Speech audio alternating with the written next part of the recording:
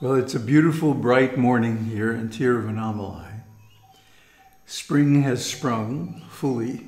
The mango trees are blooming. Everything looks very beautiful. So I want to announce that finally, after putting it off for a long time, I've collected all of the music tracks that are currently available and put them in one place. So here's the URL to the site. There's also a live link in the video description if you just want to click it instead of typing it in. And you can see all the tracks.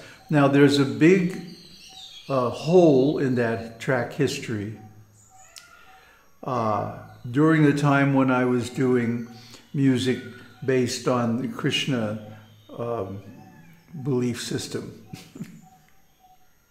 and that was about from the late 90s all the way to 2011. So uh, I sold the rights to all of those when I left that organization and that belief system. And I don't really promote them anymore. I don't believe in the whole system that they're based on. But everything else is there, including my Buddhist period and the more recent ones that are uh, based on Sri Vidya. But you know, what is music? When I look at these pieces and I listen to them again, it's like well, love letters in the sand, you know, it's, it's just a temporary expression of a passing feeling. And then it's gone in the wind, you know. And I wonder, I, I question really the value of music in that way. That, yeah, it can influence people and it can propagate a certain mood. But is it really giving anything substantial? You know, except in the case when it's used to propagate a mantra or another, like a classical prayer, you know.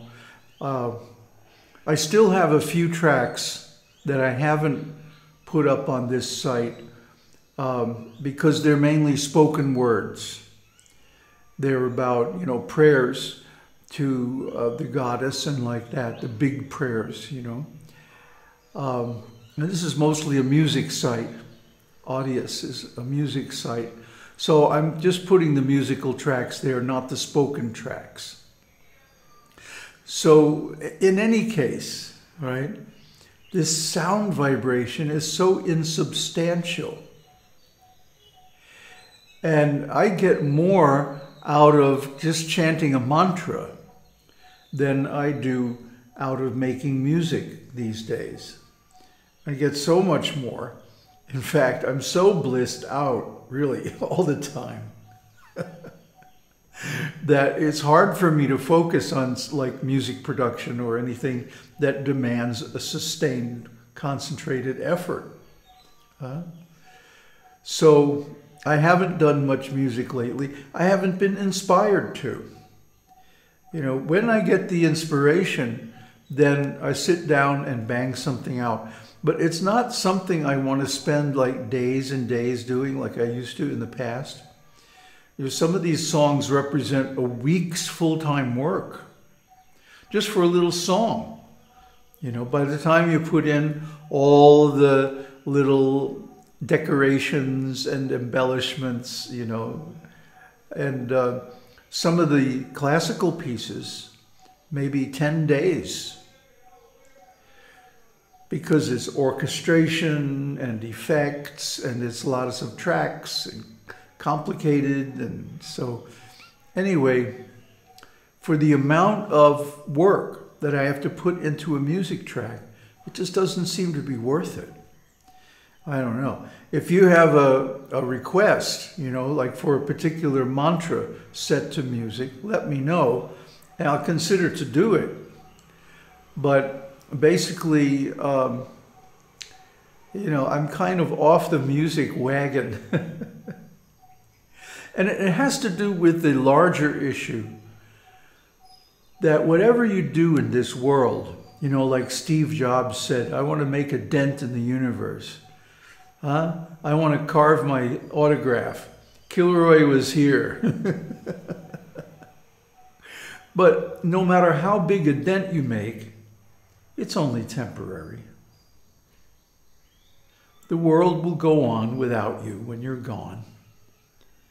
You know, there's nothing that you can do that's permanent or really meaningful in the overall scale of things, which is beyond our grasp. The universe is so vast, so complicated. You know, what are we silly humans here for a hundred years or less? What can we do? That's why I compare not only music, but all human endeavors to love letters in the sand, you know?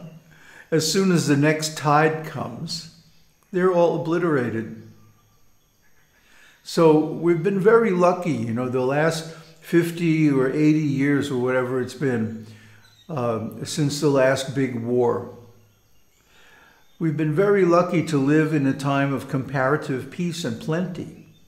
Most of human history is just full of chaos and conflict and struggle and suffering. So if we don't take advantage of this, by all means, temporary situation to advance spiritually, what are we doing here? You know? It's like wasting our time, wasting a tremendous gift that we've been given.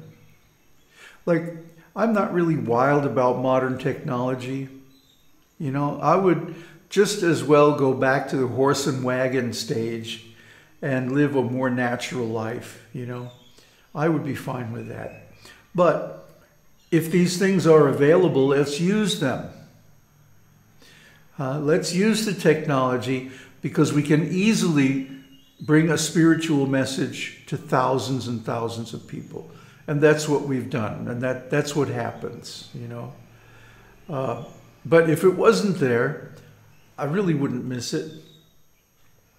It's just the ability to reach out and touch people on the other side of the planet, you know, that's so wonderful and so amazing. And I intend to take full advantage of it as long as it's available. So, my question to you is then, what are you doing? Are you sharing our videos? You know, if you like them. You know, I get a lot of likes on my videos. Well, why not share them on social media? Why not spread the word? Why not help out a little bit with promotion? Because it's not like I'm going to hire a manager or a PR person. you know, it's up to you to share this gift in the limited time that we have available. And make it something, even though it's just temporary, just love letters in the sand, you know? Spread it around and help others who may be struggling to find the answers to the secrets of life. Aum Tat Sat. Om Shakti Om.